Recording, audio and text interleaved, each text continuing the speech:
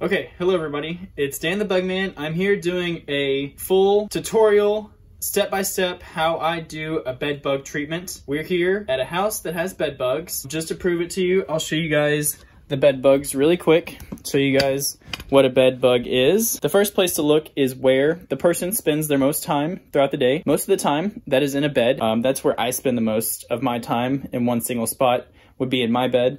But this gentleman seems to spend the most of his time in this beautiful recliner. So I'm gonna show you guys some of the cracks right around here. Um, I really don't even have to get very far in there. But that crack, so, so see that little guy right there? That's a bed bug. That's a bed bug. Those are all Those are all bed bugs.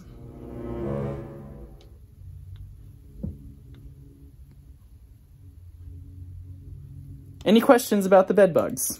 Uh, it's a pretty heavy infestation. I've got my camera on my hat. I'm going to be treating this house for bed bugs. I will show you guys everything I'm doing. I'm going to have one of our other guys, Nate, meet me over here. It is going to be his 10th day on the job, and this is going to be a very good bed bug service for him to see and help me with. This is a above average infestation, I would say. So the first thing I'm going to do is just do a general lap spray around the house. This is a trailer mobile home, so it's not very big, but I'm just going to do a lap where I spray around the baseboards and I just get my bearings about where, you know, I need to spend most of my time, how bad the infestation is. Just getting a game plan, seeing where the target areas are.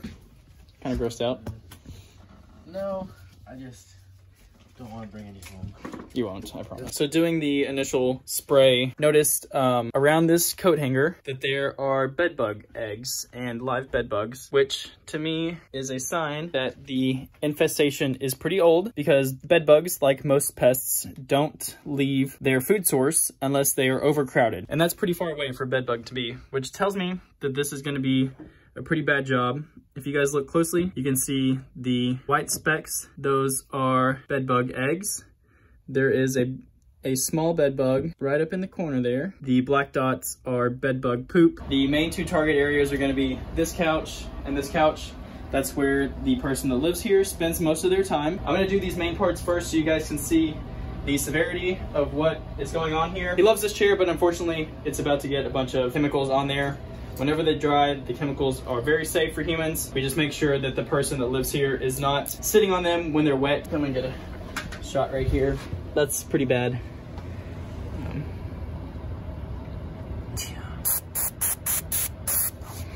so you just start spraying the cracks.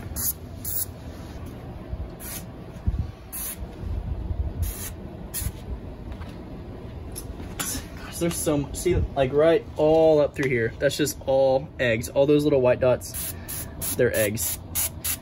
There's a lot of people that say bed bugs are microscopic. They're not quite microscopic, but they're pretty darn close. Oh my gosh. Yeah, that's crazy. Jeez, look at them back there. They're just crawling. Oh, this is so bad. So bad.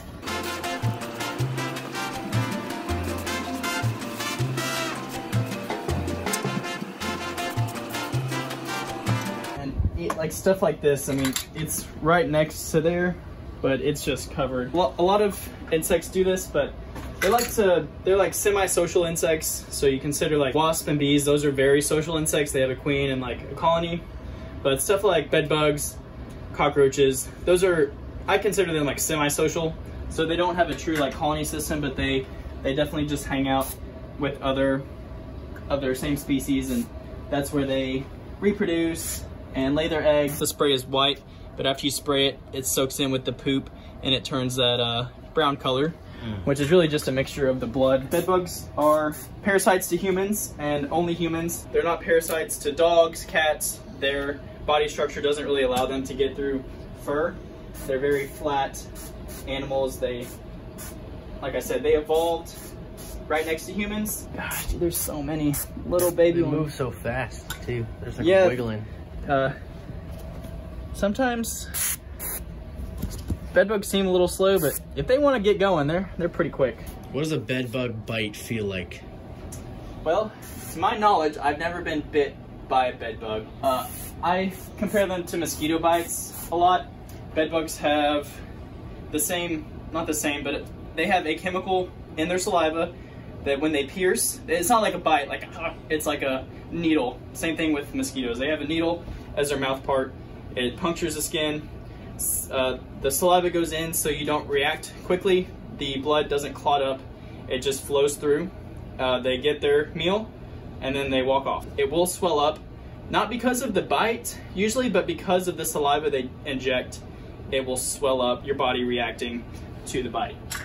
Uh, but everyone reacts differently. The guy that lives here, um, you know, he probably has bed bugs bite him multiple times a day. I talked to him before I got here and I didn't see any really, you know, marks all over him. So everyone reacts differently to bed bug bites.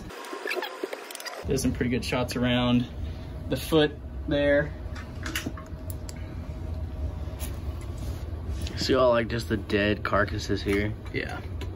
Those are their skin sheds. They they shed their skin usually five times in their life cycle. But it, it's very important to flip all this stuff over when you're treating bed bugs. They like to be up under things. It's kind of the same with roaches. They they like the it's just a biological feature. They they like being up under things. I'm gonna oh, this thing. Yeah. Look at all oh that. Oh my gosh. Look at all that dead skin. There's live ones. Like that that's how you know this has been there a long time. Yeah. Those aren't even alive. Those are just their skin skin sheds. There's a scientific word for their skin sheds. I don't remember what it is. But gosh, look at that dude. Get a shot of that. You. Oh man.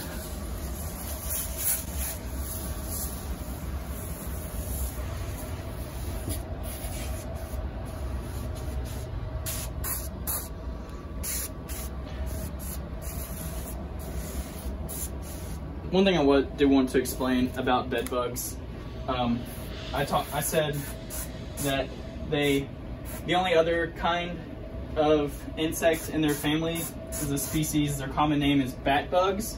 They literally evolved side by side with humans in caves millions of years ago.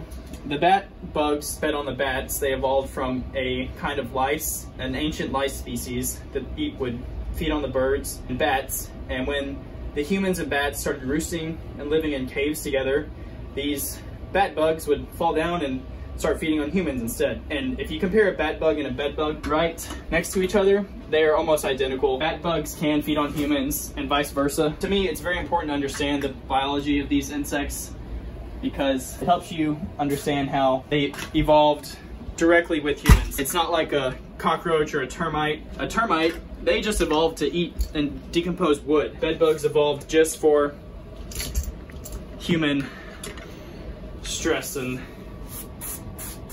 to hate humans. Yeah, they're just crawling everywhere.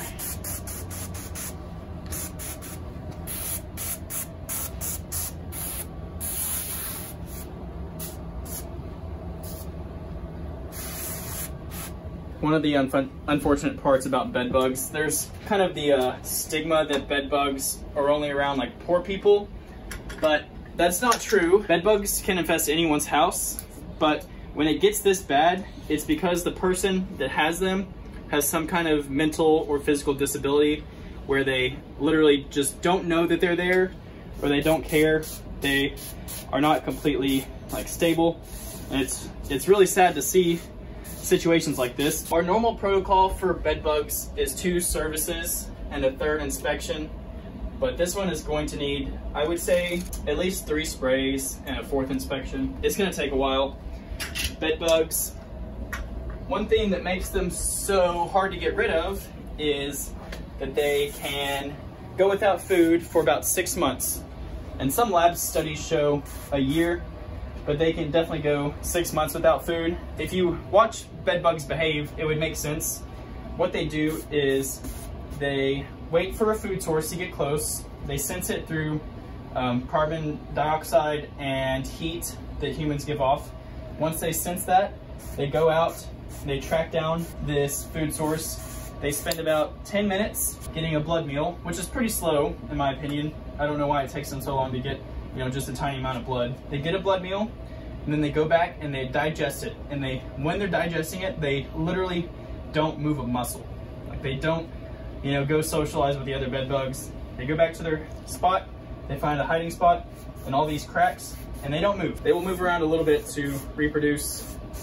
Uh, another fun fact about bed bugs is they don't really have um, complete sexual reproductive parts. The male bed bug literally pierces the female bed bug in the stomach and puts the sperm inside of her. Uh, my first question was, how can you be living in this? Not not from a mental standpoint, because obviously there's a lot of situations that can cause people to not notice or not understand things, but like physically, I'm just picturing if these were mosquitoes, someone will probably just be capped dry blood-wise, but you know, the fact that they have to spend so long digesting the blood, Yeah. I think has created the situation where they could survive this long. They really are pretty slow moving insects compared to other insects. So, you notice that bag? yeah. How bad it was? Yeah. I sprayed it with the B&G. I don't but- know where this bag was, but yeah, like any crack, you know, they just get in groups and they just sit there. They don't even look like they're alive, but they are. Also smushed on my fingers, and they don't look like they're that full, but they're full of blood. Yeah, the full ones, they'll pop if you squeeze them. I remember hearing at some point, or thinking I heard, that bed bugs could also feed off of skin particles. Is that true?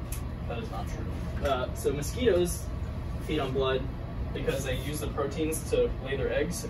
It's like only only female mosquitoes feed on blood. Um, but bed bugs, they feed on blood for their food. I walked in and I asked Daniel, I said, he, he showed me that first spot spot of the chair, and I asked him if he was already itching. He's like, no, I'm used to it. But you probably are. I'm like, just looking at him made my skin crawl. Yeah. And my head's itching. Alright, bed bugs. No, no, no, no, no. I'm sure you can't hear me. And I'll let you watch what I do, and I'm just about finished up.